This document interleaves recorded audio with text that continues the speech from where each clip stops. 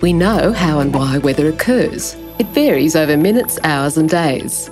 Climate is the average weather. We understand the physics and chemistry that describe the interactions between the atmosphere, the oceans, the land surface, and the biosphere that create weather and climate. Scientists use this knowledge to program computer models that simulate our weather and climate.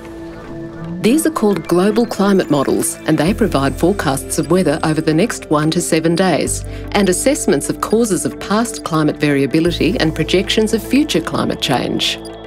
There are over 40 global climate models internationally, one of which is Australia's ACCESS model. ACCESS provides weather forecasts for Australia. Looking a week ahead, the model enables meteorologists to forecast rainfall and temperatures.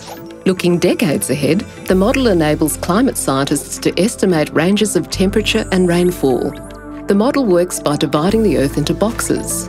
Typically, the boxes measure about 200 kilometres by 200 kilometres. To project future climate, we start with the measured or estimated conditions at every corner.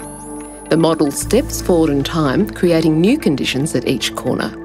The output from each step becomes the input for the next, allowing us to run the model as far into the future as required. Over regions with complex mountains or coastlines, better climate simulations require dynamic downscaling. Downscaling models have boxes that typically measure 50 kilometres by 50 kilometres or less. Models can reliably simulate the climate that we have experienced in past decades and future decades based on different assumptions about how greenhouse gases will increase.